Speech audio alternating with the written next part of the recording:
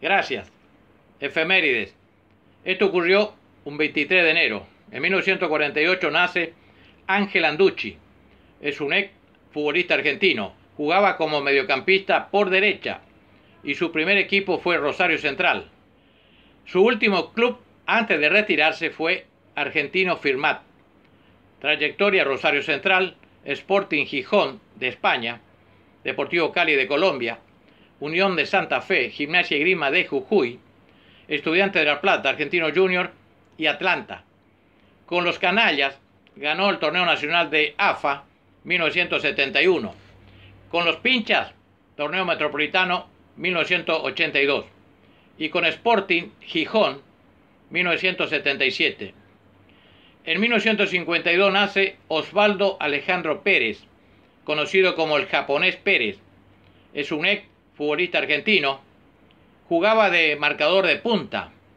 Ostenta hasta hoy un récord difícil de igualar. Es el único futbolista que jugó en Boca Juniors, River Plate, Independiente y Racing Club. También jugó en Osboy y Platense. Con los Rojos de Vallaneda logró dos torneos nacional de AFA, 77 y 78. En 1907 nace Diego García. Fue un futbolista argentino, se desempeñaba como delantero.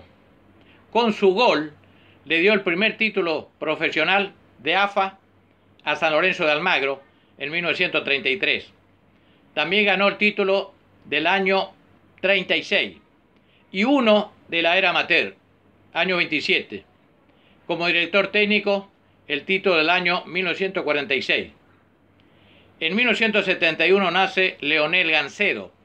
Fue un futbolista y entrenador argentino. Trayectoria Argentino Junior, River Plate. En España, Osasuna y Murcia. Huracán de Tres Arroyos. América de Cali. Deportivo Morón. River Plate de Puerto Rico, donde logró un título, año 2007. Con la banda roja, tres torneos de apertura, año 96, 97 y 99, y dos torneos clausura, 97 y 2000. Una Libertadores, año 96, y Supercopa, 1997. En 1970 nace Moreno Torricelli, es un ex futbolista y director técnico italiano. Jugaba en la posición de defensa.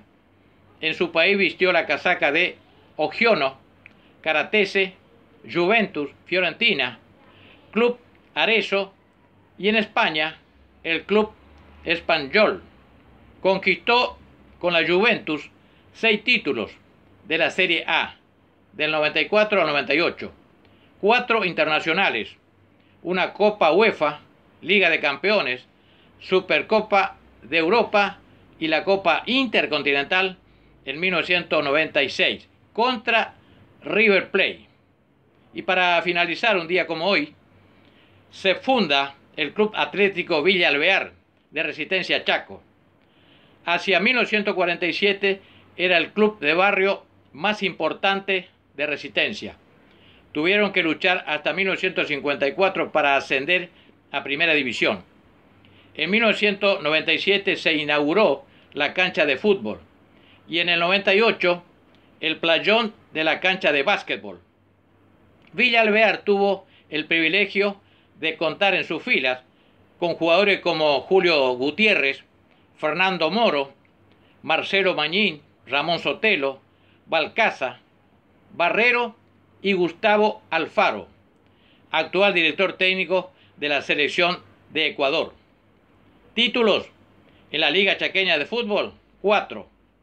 En 1990, tres torneos clausura, 2008, 2011, 2013 y un torneo federativo año 2006. Bueno, esto ha sido Deporte en el Recuerdo. Será hasta el próximo partido. Abrazo de gol.